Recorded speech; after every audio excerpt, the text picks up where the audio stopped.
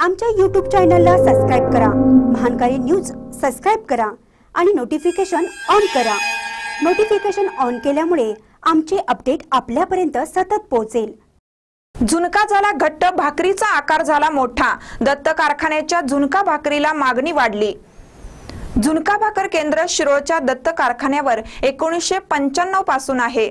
या झुणका भाकर केंद्रावर माजी मुख्यमंत्री मनोहर जोशी आले होते.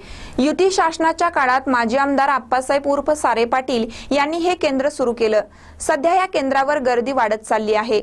इथल्या कर्मचारी वर्गानं आणि दत्त बाजारच्या व्यवस्थापनेनं स्वच्छता नेटकी आणि चांगली ठेवली आहे. गरम भाकरी आणि ताजा झुणका मागणी केल्यापासून काही क्षणात मिळत असल्यानं सध्या तरी ग्राहक आनंदात आहेत. झुणका भाकर खाण्यासाठी गरीब कष्टकरी येथे मोठ्या संख्येने येतात. महानकर न्यूजसाठी शिरोळहून मोहन जमादार.